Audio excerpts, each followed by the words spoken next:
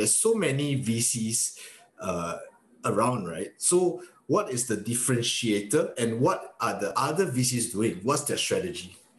Mm, sure. Nigel, why don't I, um, uh, uh, I think we've got a two by two that might help elucidate kind of how everyone else may sit on this map. Now, naturally, every single VC should, we hope, have its own right to win, right to play. Um, but by putting it on this map, hopefully we can sort of create a bit of a, a, a, framework for evaluating the styles of venture capital funds. I mean, everyone's got a unique style, personality, but these are the broad categories. So the dimensions that we use here, and you'll see some of the same terminology we've used earlier today. Uh, on the vertical axis, you'll see a, a dimension of, for example, whether you're a high conviction, relatively smaller by number portfolio investor, or whether you're a spray and pray, willing to take a huge number of bets uh, and then follow those that come through. On the horizontal axis, you'll see on the left-hand side, a bottoms-up or very deal-led approach to the right-hand side, which is a top-down approach.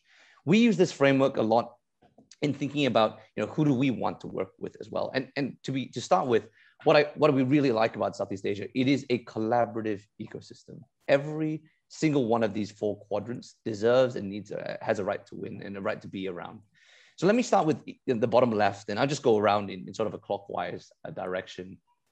So the bottom left is where you've got a spray and pray deal-led shop.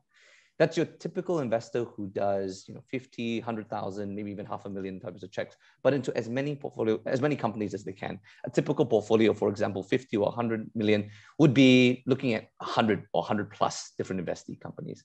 Naturally, within that, the goal as an investor in that quadrant is to see as much as possible. And as Vic and I, you know, we've, we've, we've talked with you about earlier, Nigel, that's, that was appropriate and suitable, particularly early on in Southeast Asia's ecosystems development when it was relatively nascent and you could spray and pray into the majority of the better quality companies here. Uh, as we've talked about, and with the returning of capital and talent back into the ecosystem, we think this particular quadrant you'll start to see a bit of a bifurcation and you'll have spray and pray more so in the bottom right hand corner where you say a bit more of a top down approach. I'm going to select in, for example, this country or this industry and spray and pray across that because you think that that particular country or industry respectively will have an alpha of its own. And so that's the objective.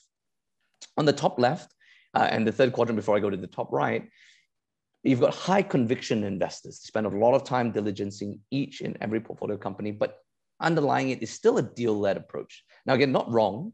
Uh, in this category, you've got your family offices, your CVCs. Uh, in general, they leverage a lot on, re- on, on relationships, on partnerships, and even corporate relationships to get sourcing of companies. But because they're not typically kitted out to do a high velocity of deal flow making or deal making rather, uh, you end up doing a high conviction kind of approach. So you're betting down into just a few. So typically portfolios here, again, 50 to 100 million dollar portfolio size, you'll have about, you know, call it 15 to 30 investments.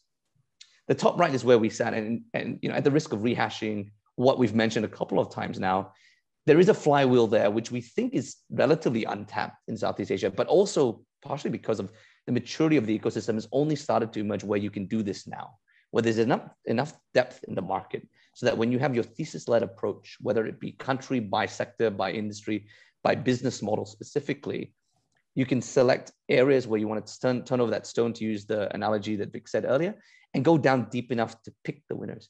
And over time, that allows you to have comprehensive deal sourcing, to leverage research in adding value to your portfolio companies, and also having a high conviction ability to select better over multiple different rounds. For example, our fund two, which is a $100 million fund, we're only looking to do about 15 investments.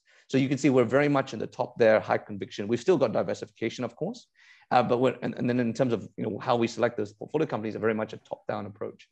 It allows us, both Vic and I, to be really hands-on with each portfolio company. But hopefully that gives you a sense for kind of where everyone else sits on that map.